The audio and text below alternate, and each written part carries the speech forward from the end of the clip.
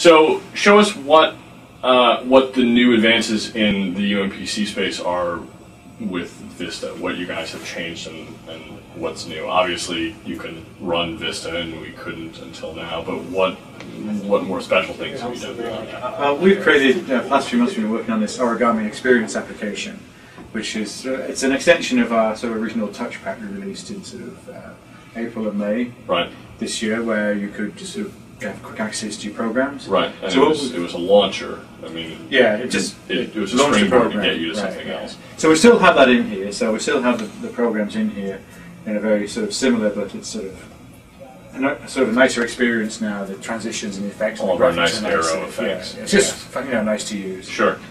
Uh, but we also built in this sort of media experience into the application. Okay. So now uh, your UMPC can be a very sort of device-like media consumption uh, media consumption hardware.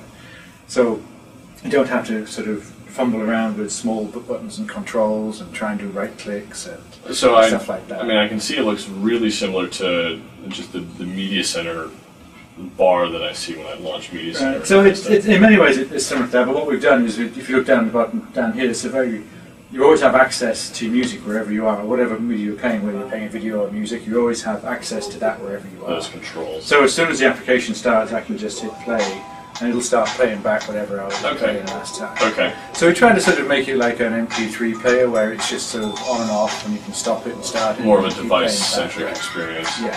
So you know we have a nice sort of picture of what you're playing right now. Sure.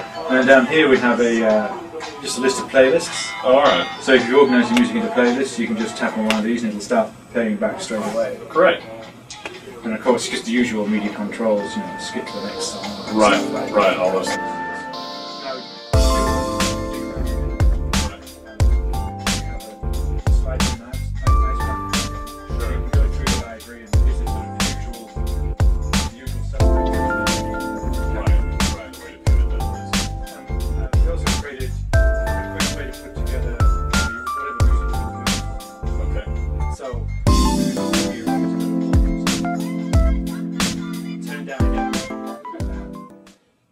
Taste in funk. That's right. You'll, you'll see. You'll see sort of a trend going on here. so as you tap through, we created some new controls here. So when you tap on an item, it expands out. Right, and you've got a couple buttons there. What are And those? there's a, there's a play button, so you can start playing that back immediately. Or you can tap this button, which will uh, put it into your favorites list. Okay.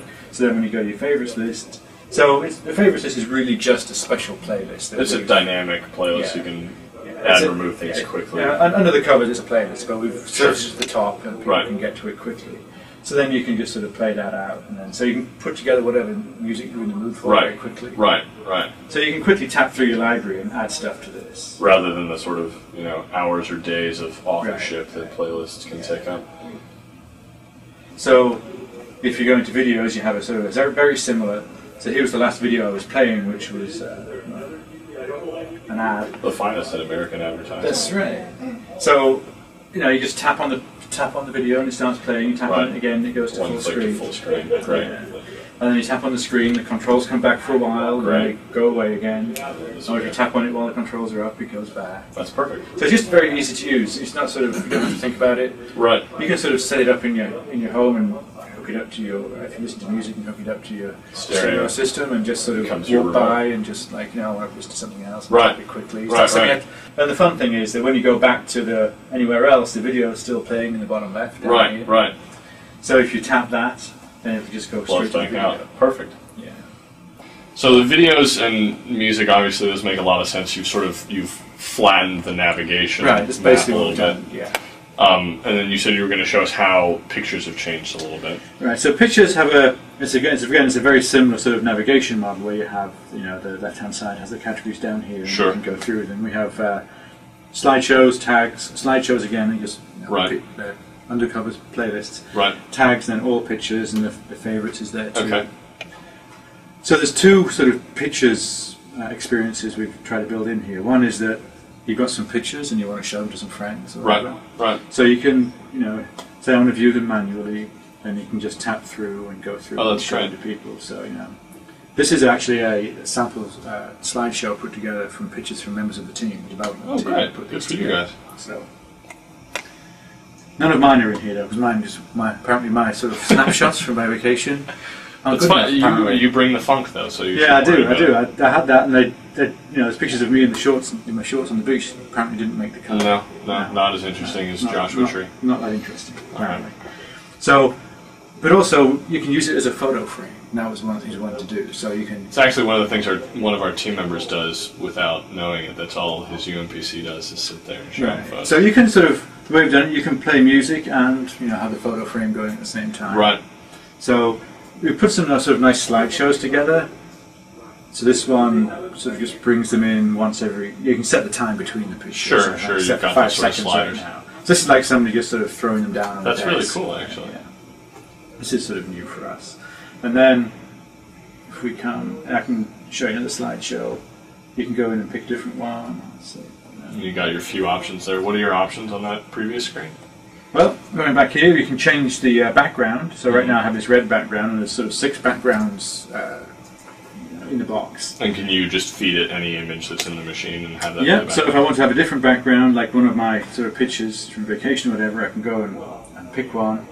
now you've sort of left your finger-friendly experience just for a Yeah, just for a little bit, but um, some of the stuff you're going to see a bit little later will show you that how you can sort of make some adjustments to Vista, so, Oh, cool. so it's sort of finger friendly. Great. Yeah. So this isn't this isn't uh, this isn't too bad. No, no, no. still good. But it's big enough. So uh, pick the pictures. There's a picture from uh, Oh, yeah. vacation. Great. So you can sort of personalize it and Good. mix it sort of you know pick some different music.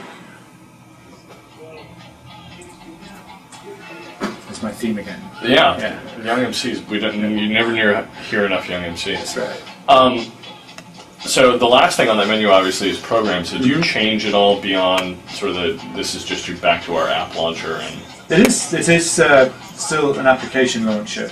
Uh, one of the issues with the uh, previous uh, release, Mhm. and of a time constraint really, was that when you wanted to uh, add a new application, Right. you were still back into the sort of this small sort of control Right. experience. Right. So what we've done on this one is, if you go down to the programs in, the, in sort of the options and settings down here, Okay. we've sort of built that into sort of the sort of origami friendly UI. So you give me the ability to choose what apps are going to show up. that So you can do you can add all this stuff and you can edit the names and everything without with all just using your fingers. You don't need a stylus, you don't need a keyboard, Right, like right, that. that's It's all- great. It's all fat finger friendly, as you might say. There's a few other little sort of tweaks on the top here. There's a we integrated the window switcher, the That's Vista window nice. switcher up here, so you can go through and pick different things Right. very quickly without. So if you want to get if you want to get back to the desktop, you just back to the desktop just like And that. there it is. That's Two that's- taps and you're back to the That's really desktop. nice. Yeah. We've also put the uh, linked up the mobility center up here, so you can get to all your mobile PC settings. Perfect. Perfect. Yeah.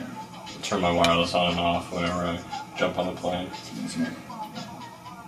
The other use case that I that just comes to my mind if I were going to have one is web browsing, and obviously you can't expect individual Mm-hmm. websites to be fat finger friendly. But did you guys look at any ways to make IE more? We did. Natalie's going to show you some of those a little bit, but but, Okay. but, I can actually I'll, I'll jump the gun a little bit. Um, so this thing's not on the network, so as soon as I hit this, it's going to give us full forward. page. Yeah, it's not not the, the nicest demo in the world, you know, but but please be prepared for that. That's so I don't have it on the network right now. So we did actually uh, work with the IE team and made a few changes to Mhm. IE, and actually they were mostly in the full screen mode. So uh, when I I use in full screen now, you get this uh, you, get a reasonable scroll bar. Oh, that's great. can work with. That makes a lot of sense. But also to get back to um, out of full screen, this uh, tap area up here was very very small. It was like sort of one pixel. Right. So it was almost you know, hard to get your fingernail up there and jam Right. it in the corner. And Yeah, exactly, exactly. So they made it a little bigger for us. Okay. So you just have to tap up here now, and this this comes back straight That's away, great. and that makes it a lot easier. Just just little things like that, Right. just to make it so you know it's kind of usable on a UMPC. Sure. But sure. once you get a web page in here, and you've got this uh, nice scroll bar and you can move setting, which is a, a setting we'll show you later. Okay. Uh, you can move around and navigate pretty easily. Okay, Yeah. that's great. I think it's awesome. All right. Well, um, in closing, tell us your name and what you do for Oh. Microsoft. I'm, I'm Jeremy White. Right. I'm a program manager on the UMPC development team, Fabulous. and I've been working on this since, I guess, February or March this year. Great. Yeah. I'm very excited to get it out at CES, though. Yeah. Hoping to have a good time showing it to everybody. Excellent. Thanks. So Jeremy showed us the media functionality and how to walk around inside of my pictures and video and music. How do I how do I get underneath it and control control the user interface, the fat fingered user interface? All right, well, we've made it um, a little bit easier for users to adjust all of the settings that are available in Windows Right. that make it easier to use with your fingers. So we've provided under here under programs, um, tools, Tools. there's something called touch settings. Basically, what that does is it groups together a bunch of settings that, when all applied, we think it really optimizes it for the touch experience. So it widens scroll bars. Right. Um, it makes items in the start menu bigger. It just basically makes things easier to more finger friendly, more finger less friendly. stylus Exactly. and cursor focused. Exactly. So we've we've made this a little easier for users this time around. So one, you can just go for the whole thing and say, yeah, I want it to be touch optimized Mm-hmm. um, based on what we feel is touch optimized.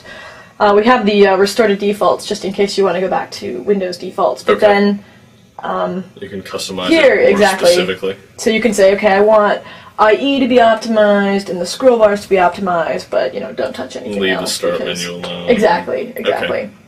It's just a one-stop shop right here to change all those settings. And do these controls do they affect what's outside of the the origami UI? Exactly, They exactly. go so they go back when I go back and use just Vista inside this device, it'll respect these settings. Yeah, and these are all change. Th- these are changing like Vista settings specifically. So um, this one here, title bar, that would change like the max, min, close buttons at the top of your window. So any window that you would open that has the standard Windows max, min, Okay, close okay. Um, would be fatter and bigger. Okay. The other use case that you know, if I had bought myself a UMPC that I could see doing is reading a lot with Right. it because it doesn't weigh nine pounds and it has a really large display. Right. So, w- how have you sort of made it easier for me to use it as you know a reader? Awesome. Yeah, we actually worked with the Microsoft Reader team, Mm-hmm. and let me close out of this. We'll cancel out. Here we go, and open up to more programs. We've um, optimized a version of Microsoft Reader specifically for the device. Okay. So it uses up the whole screen real estate, and we've added touch-friendly settings um, to make it super easy to use. So here we are in the library. In our um, pack that's shipping out, we're actually going to have some sample uh, content Right. for users. So one of the things we're going to have is um, this uh, book Constellations. Oh, great. Star Trek um, book. So you you know tap it. It's very easy to tap. You go in, and here's the UI. So you can see it fills the whole screen, and Except for my start bar. except for your star, bar. My star bar will always be there. It will be always right. always be there. That's good in case I want to do something else. Exactly. But you can also change the size of the font really easily, so you can make it bigger or smaller depending on um, your visuals. But then here, you can see these little arrows, and they can actually be turned off um, once you understand where the zone is. But you can just click to the next page. It's a very So- natural reading experience. That's awesome. When you say turned off, that part of the screen will always do that function. Yes, you it just make the icon disappear. Exactly. That's Yep. cool. Okay. So, like other versions of Reader, um, built for touch or tablet devices. So I could select something. I could even. Oh, sorry, maybe that was too quick. I'll show you in a I second, wanna but I see can. the other options you know, I can there. add Oh, that's awesome. comments to it. Sure. Um, exit here. I won't save that, but uh, here we'll make another. So if you're reading along and you want to make a highlight, or a bookmark. add a bookmark. So if- exactly. that's very cool. Um, so you just add a bookmark, and then you know as you're reading, you can easily get back to that specific page. Oh, and it even puts a little a little red sash there. Exactly. Excellent. Yep. All right. Cool. So if you tap here, we've got really big controls we've added for Sure. touch, so you can you know, go between the pages or between chapters um, Mm-hmm. Pretty easily, and you can add bookmarks this way as well. So yeah. That's awesome. So we go back to the library here. In uh, in in closing, tell us your name and what you do for Microsoft. Um, my name is Emily Remus, and I am a program manager on the UMPC team. Great. Just working on software for this device. Great. Thanks, Emily. Thank you. Cool.